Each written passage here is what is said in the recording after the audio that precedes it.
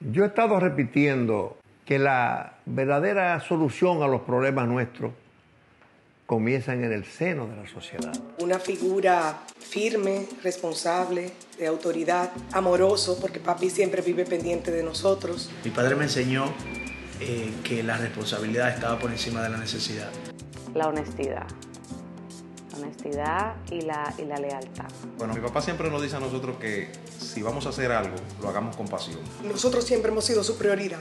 Y ayudar a todo el que yo pueda ayudar. Eh, el legado más grande que voy a tener de él y he tenido de él es ser responsable, honesto y serio ante todo.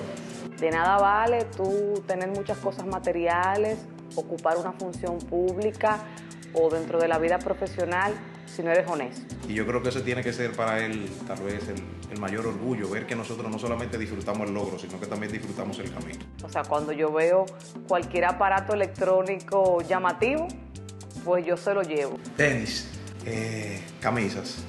El mayor regalo que, que yo le puedo dar a mi papá es mi hija, su nieta. Yo pienso que cuando me gradué. Yo pienso que el mejor regalo o el mayor regalo que nosotros le hemos hecho a él y a mami y a nosotros mismos es la unidad, es la unidad familiar. Seguir su legado. En una actividad en La Vega de los enmascarados surgió de la base de la sociedad, llegó papá.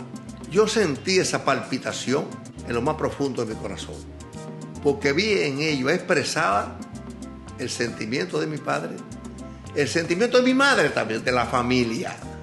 Pero llegó papá, no hay nada que me haga sentir más orgulloso y más contento cuando digo la palabra llegó papá.